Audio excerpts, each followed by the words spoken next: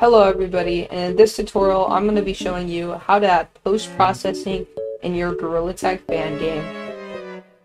Also, I would like to mention this whole thing is in URP, so I will put a video link to that in the top corner. Okay, first up, what you want to do is go to my Discord server down in the description and go to the post-processing channel and download the kosher lighting settings. And these lighting settings were not made by me, they were made by Kosher. So, W him. Once you have them imported, they should look like this. You're gonna go ahead, go to window, window. You're gonna go down to rendering, and then lighting. And then this window should appear.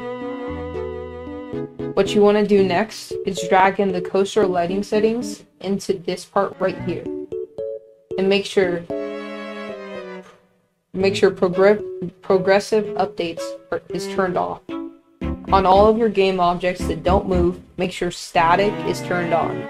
Next, what you want to do, you you want to go to your Gorilla Rig, Gorilla Player, main camera, click on that, and make sure on rendering it has post-processing turned on. You want to go to the layer of your main camera. You want to add a new layer, call it post-processing, exactly like that.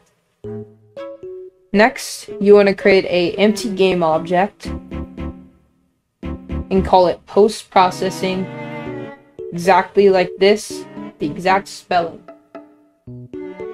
Next, you want to add a volume to it. You're going to create new, make sure it is on 1, and the rest is good. Next, you're going to go ahead and add override, and you're going to add tone mapping. Make sure it's on all and is on ACES. Next, you're going to add bloom.